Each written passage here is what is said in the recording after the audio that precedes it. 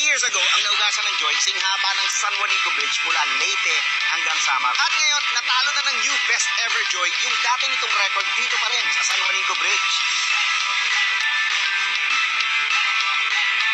Gamit ang isang bote lang ng new best ever Joy, 17,500 plates ang kayang hugasan.